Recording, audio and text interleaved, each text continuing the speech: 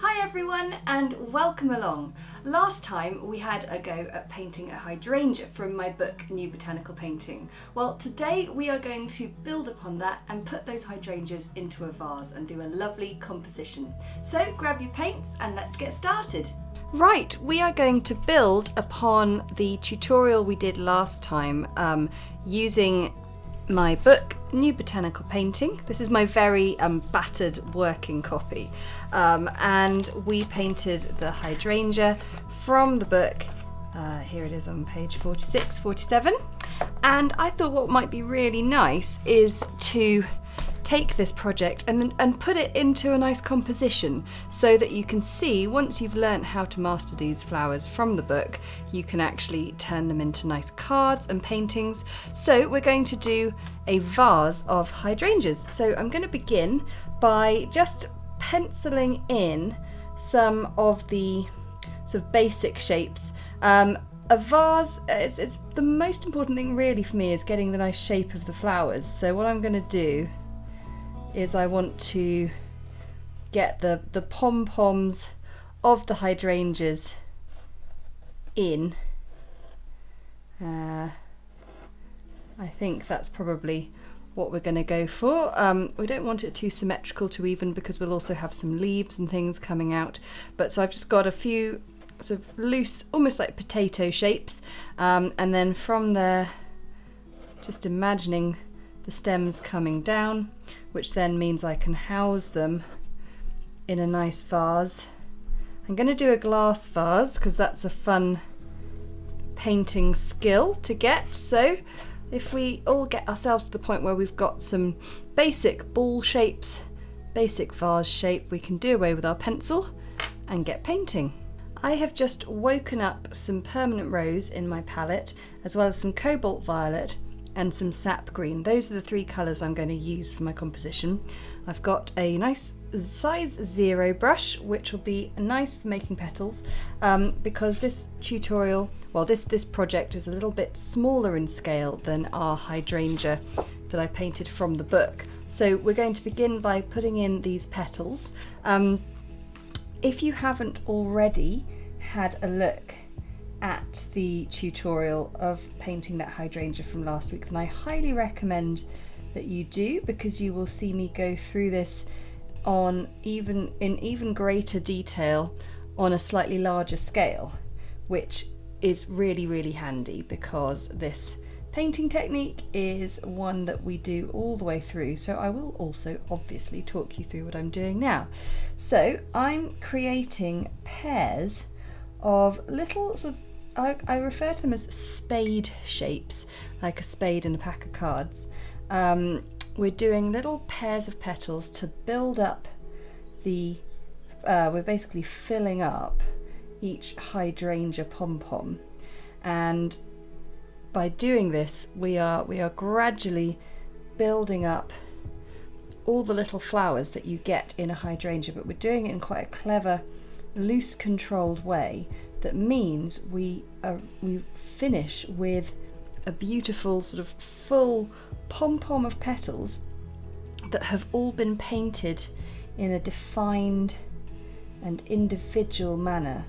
Um, so they all get painted quite loose, you know, lots of water in here, but each time we paint one, we move on to somewhere with a little bit of space from it so that the previous ones can dry 100% and get that beautiful crisp papery edge which is what I strive for in so many of my sort of paintings in this loose controlled style. So once I've painted in the diluted permanent rose petal I then drop in a dab of sap green into each one and just let it blend in. I don't touch it because pink and green are on opposite sides of the colour wheel. That means they're complementary colours, but that means essentially uh, they can either work extremely harmoniously if if sort of handled with great care, but if you put them together either both very sort of concentrated and strong or you try and sort of overmix the two colours together, you'll end up with a rather disastrous result of sort of muddied colour and and warring colours really. So we're just very delicately dropping in that green and you can see in the first few that I painted it's just about managed to sort of blend beautifully but keep itself to itself and that's exactly what I want.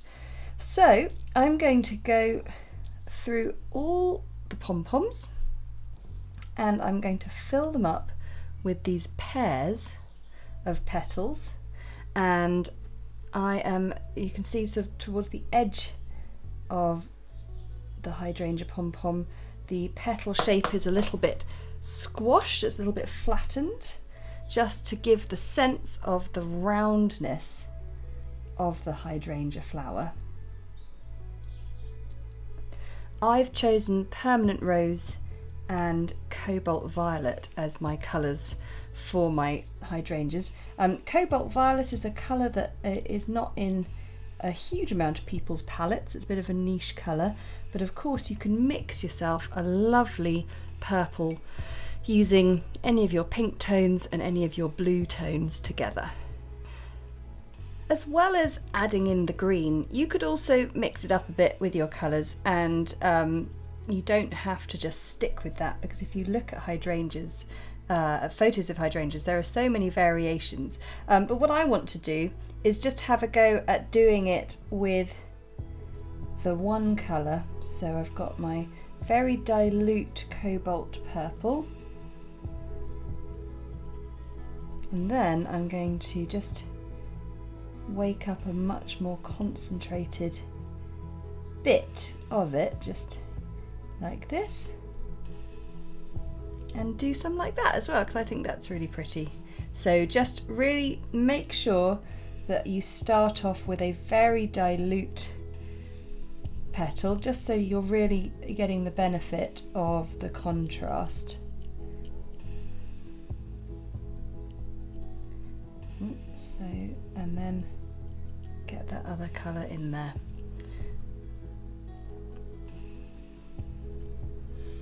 Doing pieces like this, it's all about enjoying enjoying the repetition and seeing that as therapeutic rather than frustrating to want to get to the end quickly. Um, watercolour is so relaxing and even when I'm teaching like this and I'm, I'm doing it sort of to a deadline, just being able to get lost in a piece like this, doing the same thing over and over, is actually a real treat in our very busy lives. So I do encourage you to make the most of this time you've given yourself to do some painting, or even if you're just watching and you like watching painting and don't actually have any need to have a go yourself, that's absolutely fine too. Uh, a little smudge there, I'll just cover that over.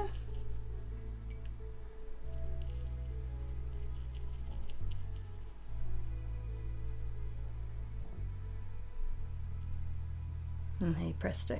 So I'm just going to fill up these last two uh, ball shapes with the pairs of petals. Meanwhile, the ones I've previously painted are drying beautifully and you can see all those lovely crisp edges and translucent painted petals that are, are working really beautifully and we will start to add the second layer.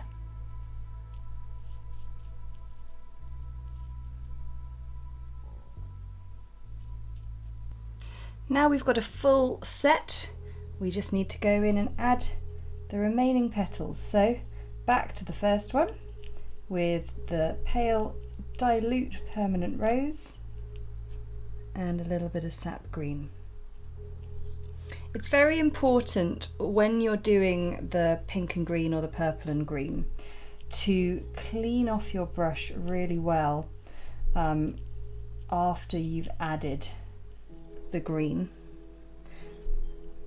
because if you were then to stick a brush that had green on it into the pink, your pink would start to really muddy. Whereas sticking the pink brush, so here we go, so I've just paint my pink in.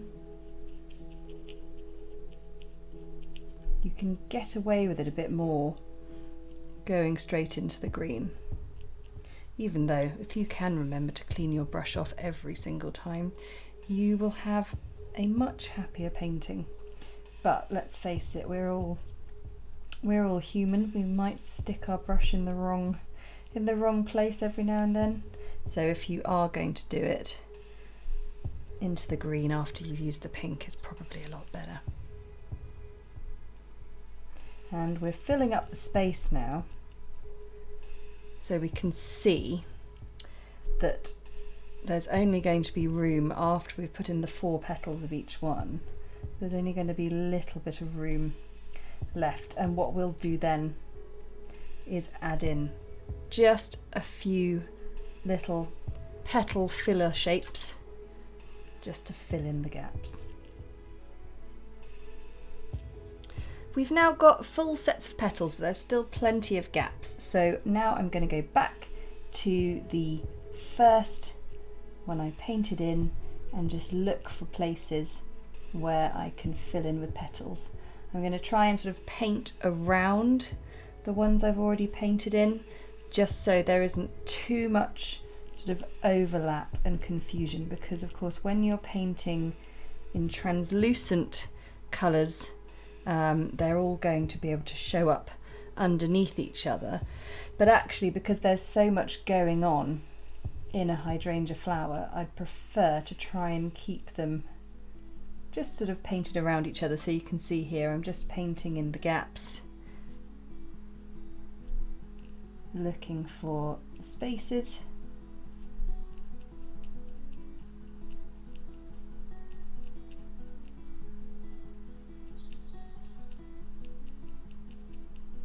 And a little bit of white space is absolutely fine. But we just want to try and get a nice full sphere of hydrangea flower.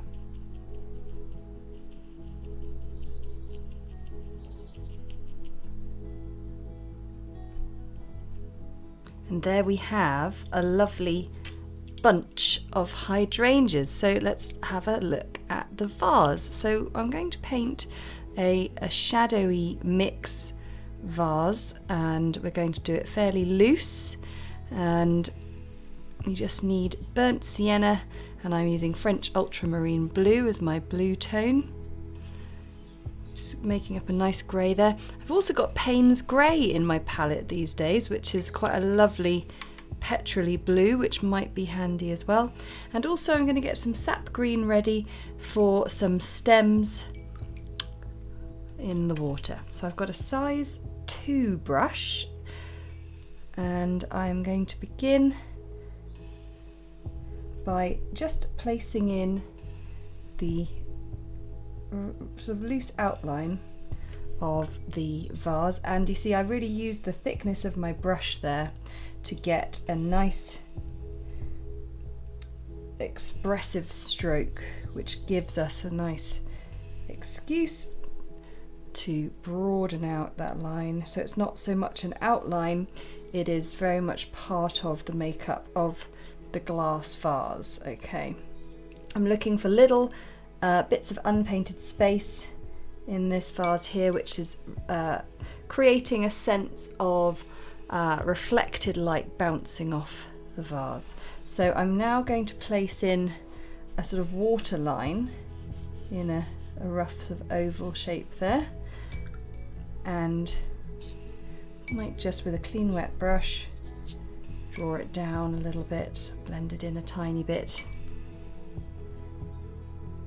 and then a little bit of darker colour coming down underneath because there's a little bit of shadow essentially, a bit of darkness in there.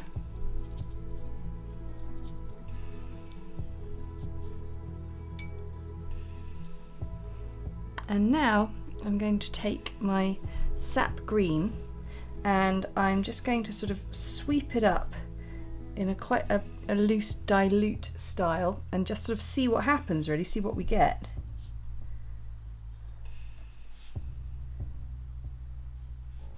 Just picturing the, the stem going into the flower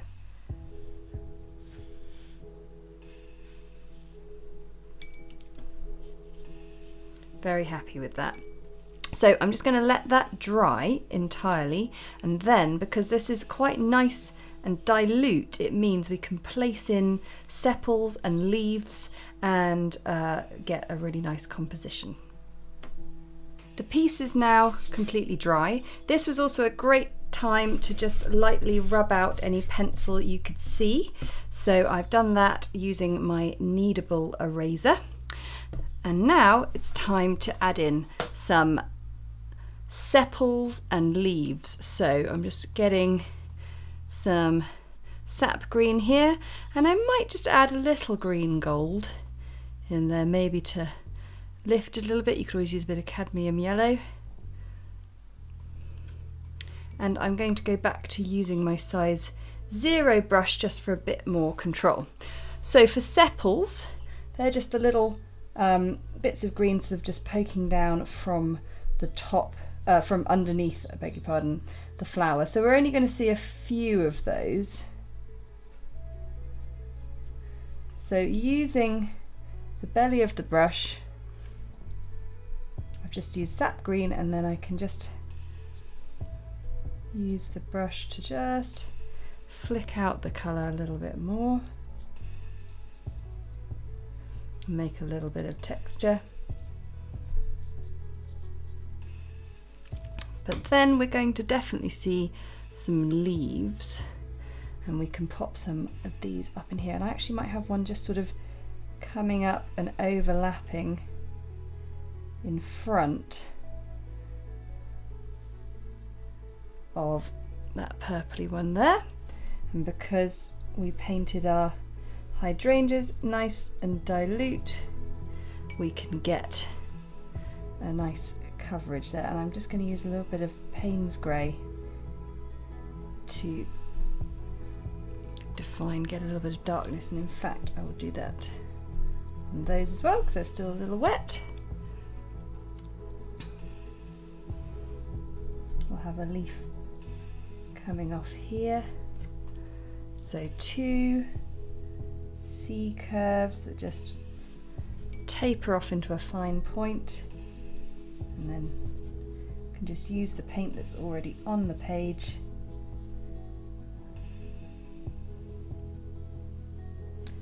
and a little bit of Payne's Grey and you can also just use that to just define the edge a little bit more.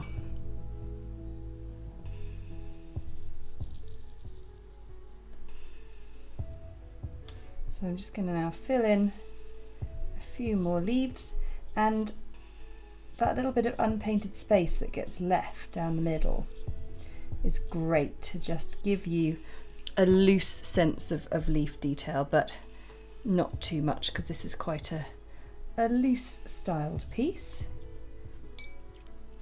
So you can pop in as many or as few leaves as you like. I quite like having them sort of coming up in between flowers and then you can just sort of use that edge of the petals to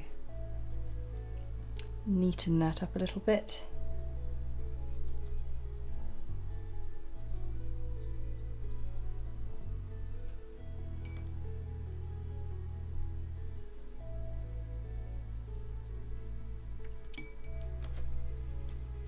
I rather like that, even though it's sort of a little uh, on the one wonk. yeah, I'm very pleased. So the last thing we could do is just pop in a little bit of shadow to those sort of underside sections.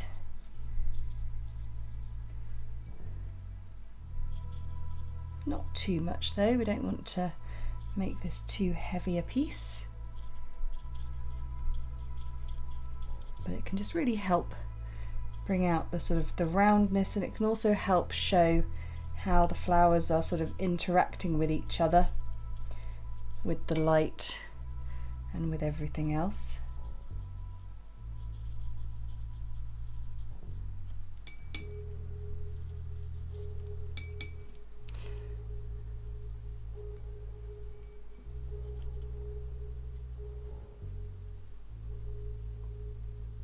Last but not least, we'll just do a little bit of extra darkness sort of on the base of the vase. Just coming down there.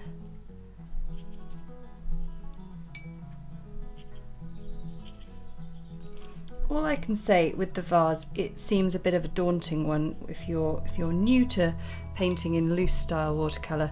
Just play around and know that I too don't really have much of a plan when I'm painting a vase like this but I'm just looking uh, at where I can see sort of I want to have bits of light reflecting off we've obviously got the roundness of the shape a line of water but there you go, uh, a use for your hydrangea tutorial from New Botanical Painting. Pop it in a lovely vase and there you go, a really nice composition. Thanks so much for watching. I want to say a massive thank you to my patrons for their support because that support enables me to keep creating these videos that everyone can enjoy. And if you enjoyed it, then hit the like button below and comment to let me know how you got on with that one. And of course, if you subscribe, then you'll never miss another video. Until next time, bye!